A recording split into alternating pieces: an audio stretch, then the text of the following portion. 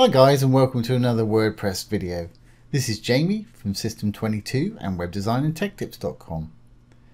Well, we put together this little site here using the free 2020 theme that comes with WordPress and it's got some nice little sections on it. I guess if I scroll all the way down to the bottom we've got a little contact us section. It's got an email, a phone and uh, a live Google map and what have you but it's got no actual form on there.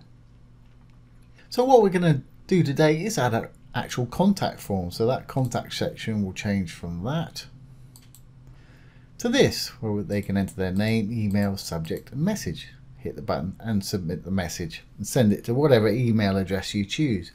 And to do this today, we're going to use a free plugin called Caldera Forms, which is absolutely awesome for a free plugin. So let's get started.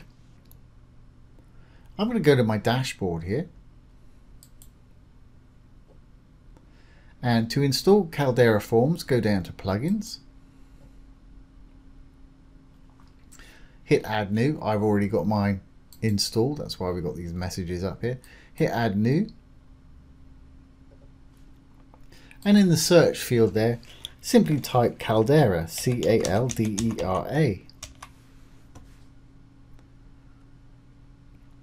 And the results page is going to pop up. And there's Caldera Forms, more than a contact form. I've already got mine installed.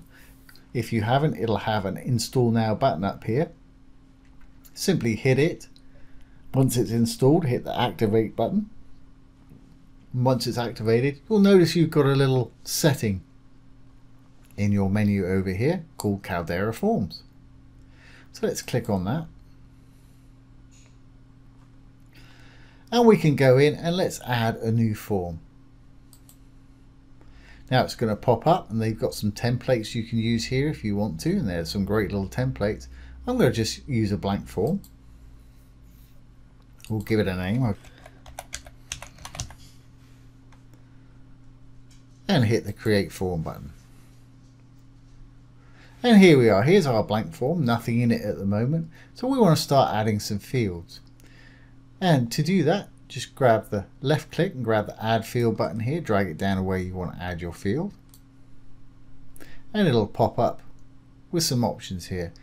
For today I'm staying on pretty much all the basic ones for us. And Caldera Forms pretty complex. You can do some wonderful things with it but I'm going to keep this very simple today. So for the first one we want their name. So I'm going to use a single line text for that. Just going to hit the set field button. There it is. So we need to tell them what it is, we'll say name. And I want it to be required. We want this, we want them to fill this out. And let's add underneath that, we want their email address. And here's one for email right here, set field. And again, we've got to name it. And again, I want that required so we can capture their email address. Next, I guess we'll have a subject. So again, I'm going to add a single line text. And we'll say subject.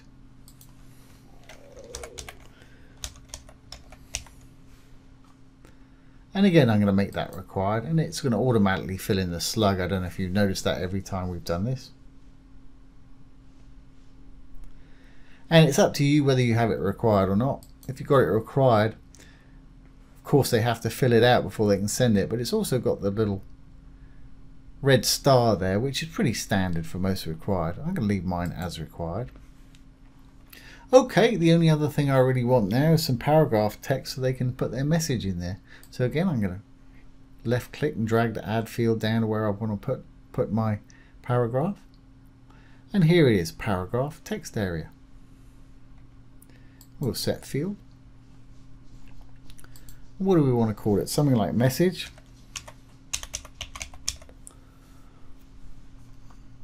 And again, we want that required because they don't want them sending a blank email to us. And this is all great, but we're also going to need to have a submit button or else they can't send the form. So again, let's click on this, drag it down. And here's our buttons over here. Set the field. what type of button. We're set on submit, that's fine. And again, put in here what you want the button to say.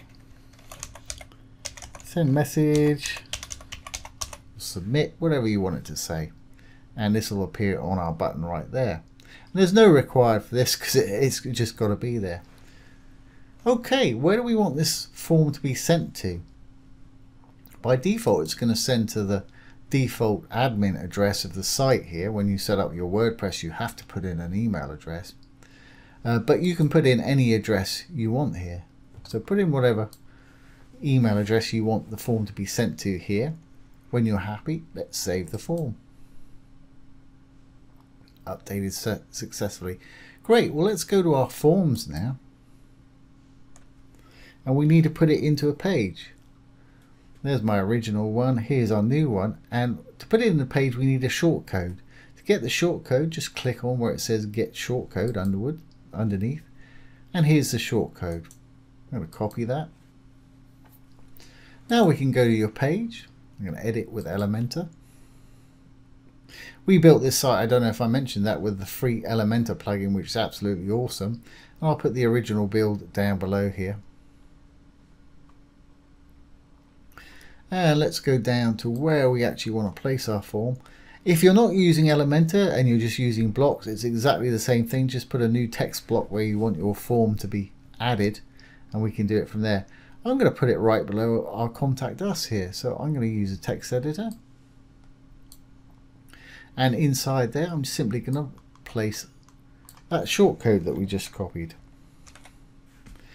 Now sometimes the form's going to show up here, sometimes it won't, but the important thing is it always shows up on the front end. Let's update.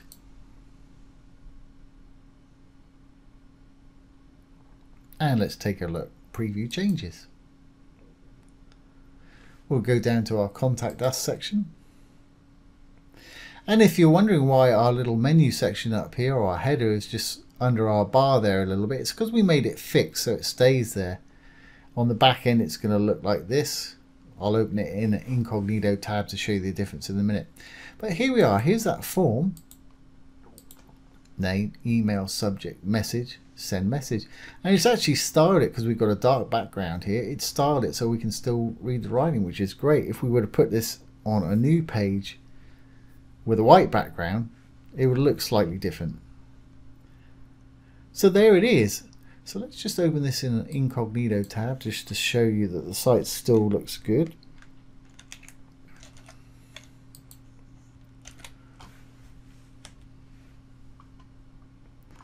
Here we go, and as you can see, it's just a regular header when general public look at it. Let's go down our contact area.